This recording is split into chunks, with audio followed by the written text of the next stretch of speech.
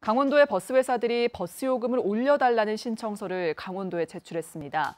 강원도는 우선 제출받은 서류를 검토해 타당성 용역을 맡길 예정인데요. 버스 이용객들 사이에선 인상안을 두고 과하다는 지적도 나옵니다. 조휴연 기자의 보도입니다.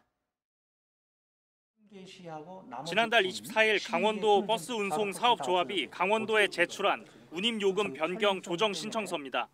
춘천과 원주, 강릉, 삼척 시내버스는 현행 1,400원에서 1,900원으로 그 외 지역은 2,190원으로 올려달라는 내용이 담겼습니다.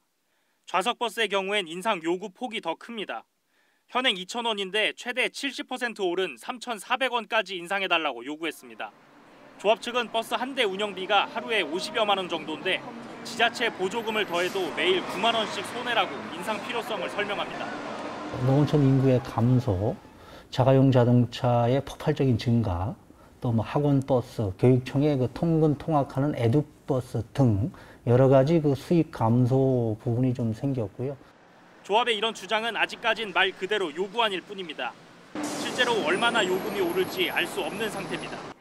하지만 시민들은 이 요구안 자체도 부담스럽다는 반응입니다. 35%면은 굉장히 큰 수치라고 생각합니다. 타는 횟수에 따라서 그 부담감도 조금씩 늘 거라고 생각이 들어요. 강원도는 요구안에 대한 내부 검토에 들어갔습니다. 보통 2년마다 이루어지게 되고요. 저희는 그 용역 보고서를 받으면 다시 저희가 회의의 법인에 또 발주를 해서 그 내용에 대해서 검토를 하게 되겠습니다. 저희 내부는 이제 검증 용역을 착수를 해야 되는 그런 단계입니다.